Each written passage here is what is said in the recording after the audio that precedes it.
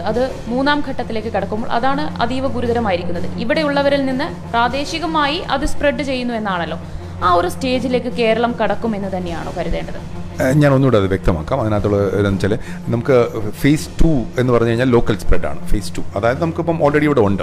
അതായത് നമ്മൾ ഐഡന്റിഫൈ ചെയ്ത് ഗൾഫിൽ നിന്നോ അല്ലെങ്കിൽ വേറെ ഇറ്റലിയിൽ നിന്നോ എവിടെയെങ്കിലും വന്ന ഒരാൾ വേറൊരാളിന് കൊടുക്കുന്നു. That's phase two phase three എന്ന് വെച്ച് കഴിഞ്ഞാൽ ഒരാൾ പെട്ടെന്ന് ഒ പിയിൽ വരുന്നു. അയാൾക്ക് പെട്ടെന്നൊരു അസുഖങ്ങളുടെ അല്പം മൂർധന്യാവസ്ഥയിലാവുന്നു.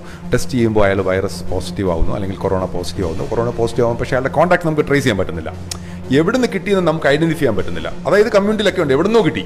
അതാണ് ഫേസ് ത്രീ അതിലേക്ക് എത്തുന്നു എന്നുള്ളതാണ്. ഐഡന്റിഫൈ ചെയ്യാൻ പറ്റാത്ത രീതി. അതിലേക്ക് എത്തും. അതിലേക്ക് എത്തും എന്നുള്ളതാണ് ആരോഗ്യ വിദഗ്ധരുടെ എല്ലാവരുടെയും ഒരു കണക്കൂട്ടൽ എത്താതിരിക്കാൻ ഒരു വഴിയില്ല.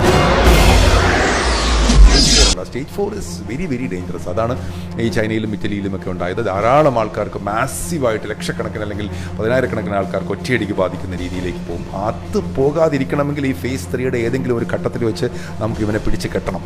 എങ്ങനെ പറ്റും ഡോക്ടർ അത് അത് അത് ബേസിക് ആയിട്ടുള്ള കാര്യങ്ങൾ. ഏറ്റവും സോഷ്യലൈ സോഷ്യൽ ഗാദറിങ്ങുകൾ മാക്സിമം ഒഴിവാക്കുക. അതിന് പള്ളിയും അമ്പലവും ഒന്നുമില്ല അതിനകത്തൊന്നും യാതൊരു നോട്ടവും ഇല്ല. പള്ളിയില്ല അമ്പലവും ഇല്ല കുർബാനയില്ല ഒന്നുമില്ല എല്ലാ ഏതാണെങ്കിലും സോഷ്യൽ ഗാദറിങ് മാക്സിമം ഒഴിവാക്കുക.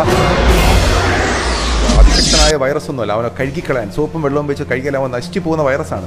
അവനെ നമുക്ക് നശിപ്പിക്കാനായിട്ട് കൈകൾ നിരന്തരം കഴുകുക. ആ വീടിനകത്ത് വരുമ്പോൾ വീടിന് പുറത്ത് പോരുമ്പോൾ ആഹാരം കഴിക്കുമ്പോൾ ആഹാരം കഴിച്ചതിന് ശേഷം ഏതെങ്കിലും പ്രതലത്തിൽ തൊട്ടതിന് ശേഷം പുറത്ത് പോകുമ്പോൾ നമുക്ക് ഒരുപക്ഷെ കൈ കഴുകാൻ പറ്റുന്നെങ്കിൽ ഹാൻഡ് സാനിറ്റൈസർ ഉപയോഗിക്കാം.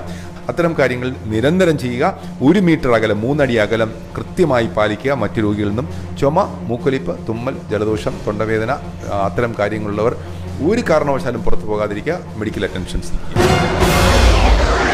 ജാഗരൂകരായിരുന്നാൽ ഈ വൈറസ് വ്യാപനം തടയാൻ കഴിയും. നമുക്ക് പറ്റും. നമുക്കിത് തടഞ്ഞു നാം മനസ്സിലാക്കണം ഇറ്റലി പോലെയുള്ള രാജ്യങ്ങൾ നമ്മളെക്കാളൊക്കെ വളരെ അഡ്വാൻസ്ഡ് ആണെന്ന് പറയുന്ന രാജ്യങ്ങൾ പോലും അവിടെ നമ്മുടെ രാജ്യത്ത് വന്നതിന് കേരളത്തിൽ വന്നതിന് ശേഷമാണ് അവിടെ വന്നത്.